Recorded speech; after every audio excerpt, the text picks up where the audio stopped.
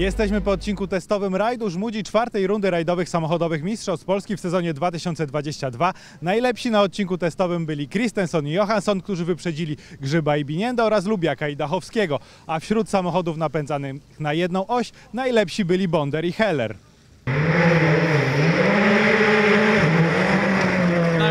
I'm confident in my body now, and that's uh, the biggest difference now to be uh, confident about driving. So, uh, and now I'm very happy to be here. I'm very happy to continue the championship. It's it looks fantastic at the moment, so uh, we will just continue as we do and enjoy the rallies. Rajd jest bardzo fajny, on jest szybki, twardy dosyć. E, No może teraz trochę ta pogoda krzyżuje szyki, ale generalnie jest tutaj naprawdę nieźle.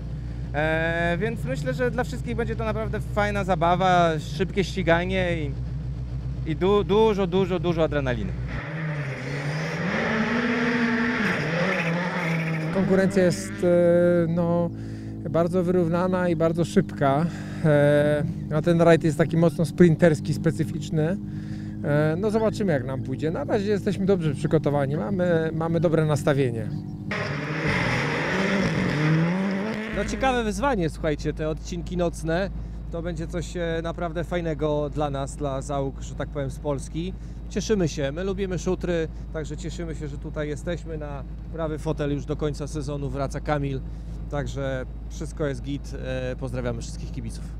Przed kierowcami dwa dni intensywnego ścigania. Załogi w piątek pokonają sześć odcinków specjalnych, w tym także odcinki nocne, które będą dla kierowców gigantycznym wyzwaniem. W sobotę kolejne 8 OS-ów, łącznie do pokonania blisko 114 km. Zwycięzcę rajdu Żmudzi poznamy w sobotę wczesnym popołudniem. W tym roku wprowadzono w RSMP osobne klasyfikacje na rajdy asfaltowe i szutrowe, a rajd Żmudzi to ostatnia szutrowa runda w tym sezonie. Dlatego już w sobotę e, po południu poznamy pierwszego mistrza Polski. Na razie w klasyfikacji rajdów szutrowych po znakomitych występach w rajdzie podlaskim i rajdzie Polski prowadzi Tom Christensen. Czy Szwed utrzyma prowadzenie nad Grzybem i Lubiakiem? Przekonamy się już w sobotę po południu, a wy śledźcie nasze relacje z rajdu Żmudzi.